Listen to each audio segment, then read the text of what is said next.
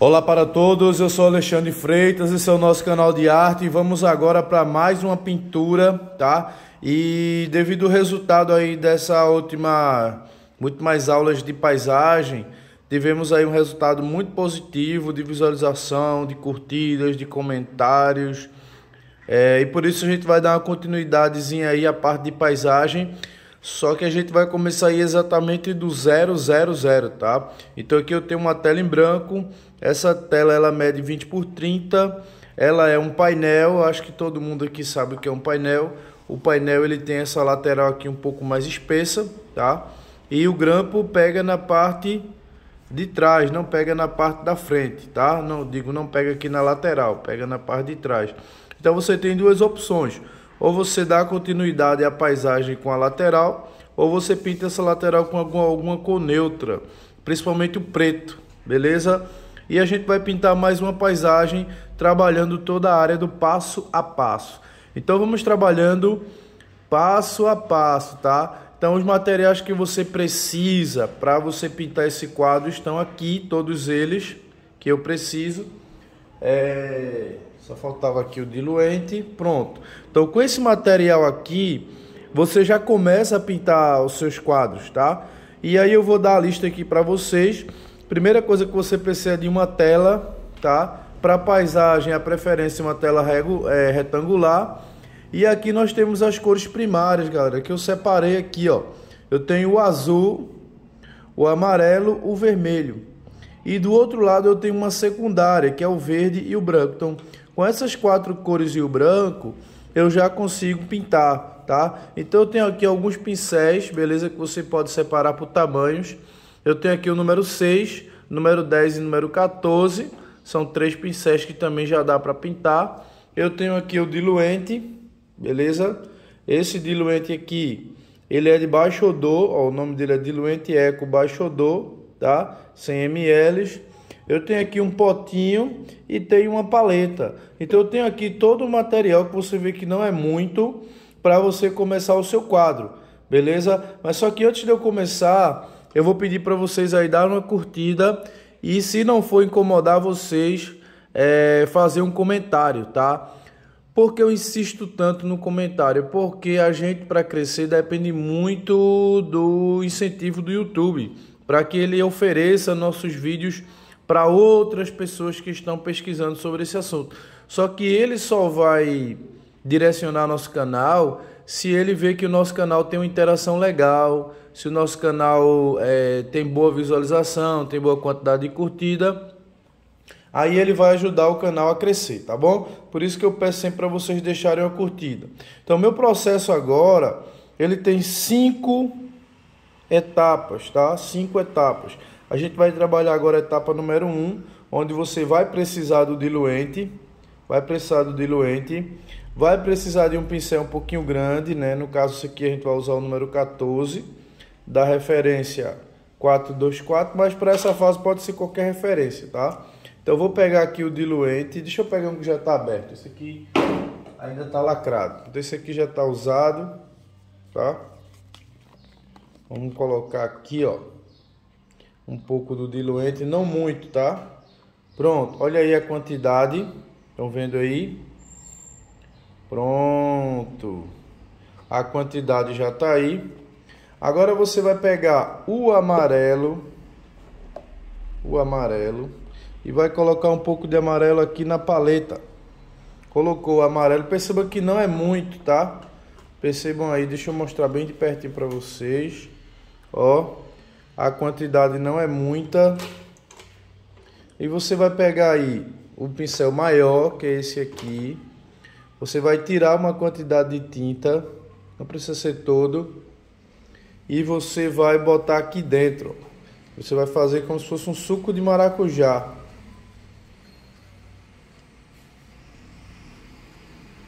Faz aquele suquinho de maracujá. Olha.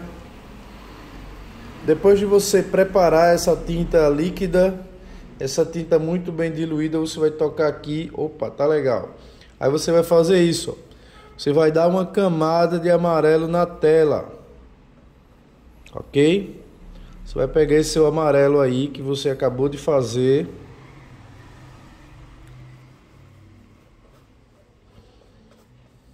Afastar aqui o diluente, puxar a tela um pouco para o meio. Pronto, tá tudo muito bem posicionado aí. Inicialmente você pode começar só usando amarelo. Pode ser o amarelo ocre, pode ser o amarelo indiano, pode ser o amarelo de cádmio, beleza? Se você estiver trabalhando com uma paisagem que vai ser noite ou uma paisagem fria, você pode começar com azul, tá? Com azul. E se você for fazer uma espécie de pôr do sol e você quiser começar com vermelho, também pode, tá?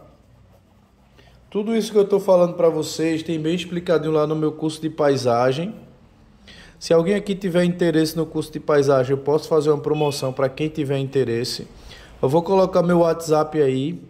E só essa semana eu vou fazer promoção em todos os meus cursos, mas eu não vou anunciar aqui, tá? O valor que eu vou fazer. É, quem tiver interesse vai me procurar, vai dizer, professor, eu estou interessado no curso de desenho. Professor, eu estou interessado no curso de rosas.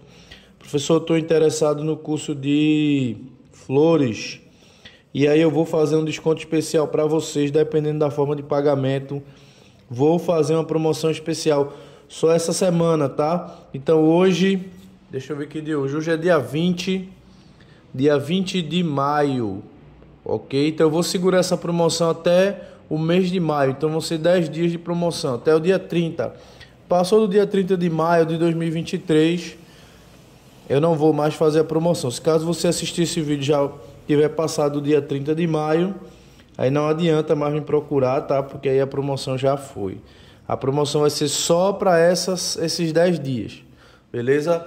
Então, galera, perceba aqui que eu já passei o amarelo, a tinta está molhada e é exatamente isso que eu quero, que ela esteja molhada mesmo. Só que aqui agora eu vou acrescentar o vermelho. Vou acrescentar aqui o vermelho. E vou acrescentar aqui o azul.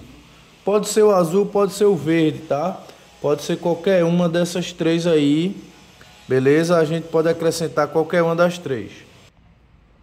Bom, então vamos lá, tá? Vamos agora fazer a parte do desenho. Eu tenho aqui três cores, beleza? Eu tenho aí três cores. Eu tenho três primárias, tenho o azul, tenho o amarelo, tenho o vermelho e tenho uma tela molhada, ó. Molhada, que é exatamente o que eu quero. Eu vou pegar aqui o amarelo, eu vou pegar aqui o vermelho e vou pegar aqui um pouquinho do azul e vou criar um amarelo ocre. Pessoal, já tenho amarelo ocre. Beleza, usa aí o amarelo ocre, não tem problema não. Pronto, ó, fiz aqui um amarelo ocre, ok? Agora eu vou colocar aqui nessa, nessa tela, eu vou fazer uma proporção com a lei dos terços. Então eu vou pegar aqui, eu vou dividir em três partes iguais. Não precisa ser exatamente igual. Deixa eu usar um pouco mais de amarelo, ficou muito escuro. Eu vou fazer uma, uma linhazinha descendo, outra linhazinha descendo. O ideal seria que você encontrasse três medidas bem legais. Se caso você errar, você vem aqui ó, no mídio e faz isso. Ó. Passa o mídio de novo aqui que você apaga, beleza? Então o próprio pincel vai ser sua borracha.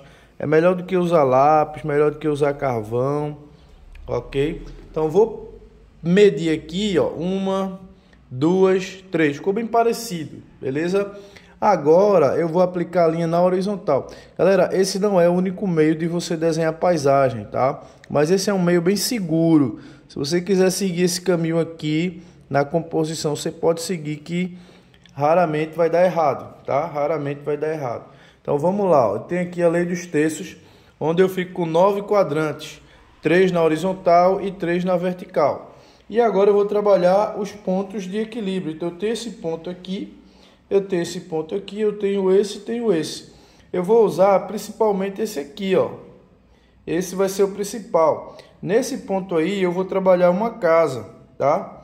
uma casa. É, e aí eu vou colocar ela aqui, vou desenhar ela aqui nesse espaço, uma casinha.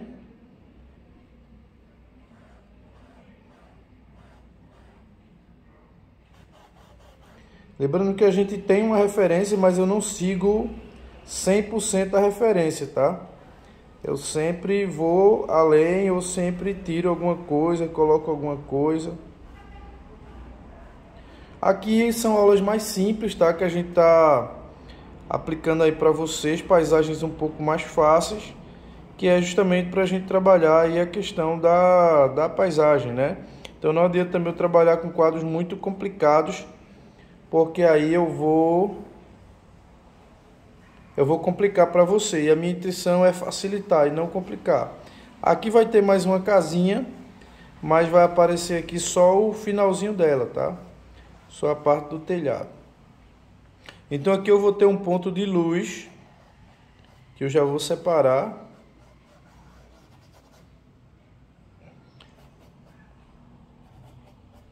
Aqui na frente da casa eu vou ter uma árvore.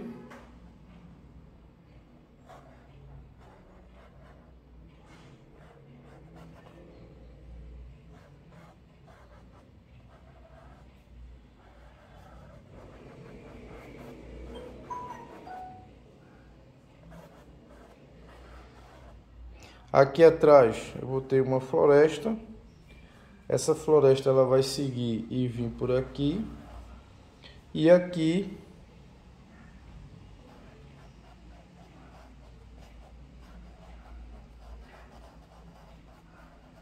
aqui eu vou ter um caminho.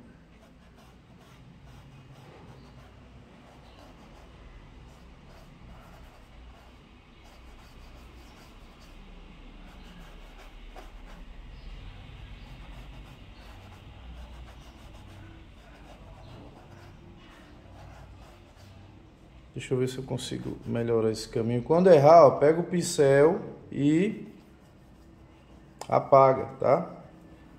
Apaga. Qualquer coisa pode passar o pano também.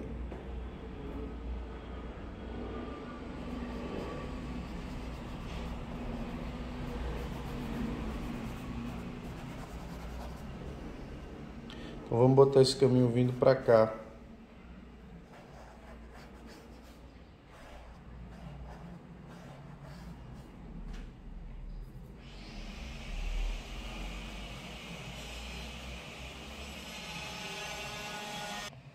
Então vamos separar elemento por elemento.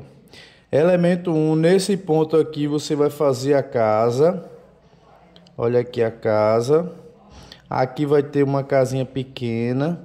Aqui na frente vai ter esse essa matinha aqui, amarelinha, tá? Aqui Aqui, ó, na frente vai ter um caminho Aqui vai ter essa árvore que pega um pouquinho passando para cá, ó, e vem para esse ponto aqui, beleza? Aqui atrás também você pode colocar outra árvorezinha aqui atrás, outra árvore. Aqui vai ter essa maior, aqui essa daqui vai cruzar por aqui, vai sair do lado de cá, beleza? Aqui vai ter outra árvorezinha aqui nesse cantinho, ó outra árvore aqui. Pronto, galera. Então aqui, ó, ó, deixa eu dar uma escurecida aqui nessa árvore. Vamos deixar bem detalhada essa paisagem, porque quanto mais detalhado a gente deixar, menos a gente vai sofrer depois, que a gente não vai confundir, né?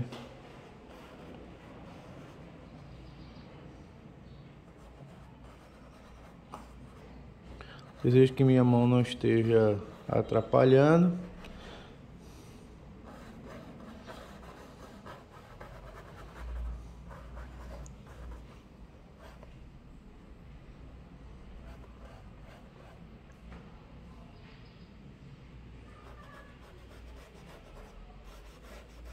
Vou abrir mais o caminho, fazer um caminho um pouco mais aberto.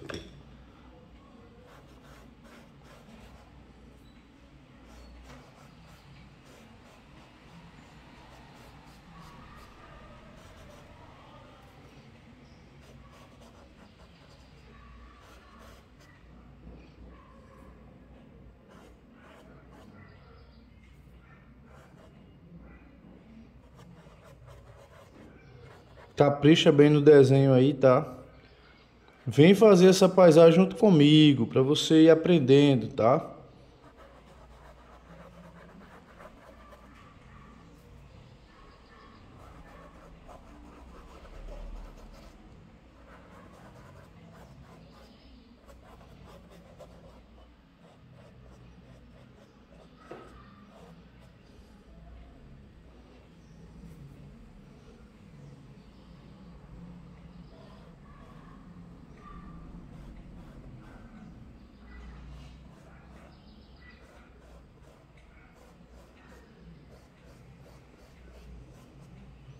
Aí vai ter um cercado. Bom, galera, então essa aí inicialmente é a nossa paisagem, tá? A frente dela vai estar tá pro lado de lá, aqui vai ter um tipo escadazinha. Bom, essa daí é a paisagem que a gente vai trabalhar, vai ficar linda, tá? As cores que a gente vai usar são mínimas. O que eu posso dizer é, desejo que vocês estejam gostando. Desejo que vocês façam junto comigo, não fiquem só assistindo, tá? Desejo também que vocês se tornem aí patrocinador desse canal, ou se tornando membro, ou vocês também podem fazer alguma doação para o canal através do Pix. Lá no começo do vídeo eu coloquei o dos dois números do meu WhatsApp. Quem tiver algum quadro e quiser avaliar, pode falar comigo, independente de ser meu aluno ou não, independente de você ser membro ou não, independente de você ser patrocinador ou não, tá? Eu estou aqui para ajudar, para somar, para trazer o, o conhecimento para vocês, tá certo? Então, podem contar comigo sempre, tá? Sempre. E se vocês também puderem de alguma forma ajudar o nosso canal, fique à vontade, tá bom? Qualquer valor você pode ajudar o nosso canal.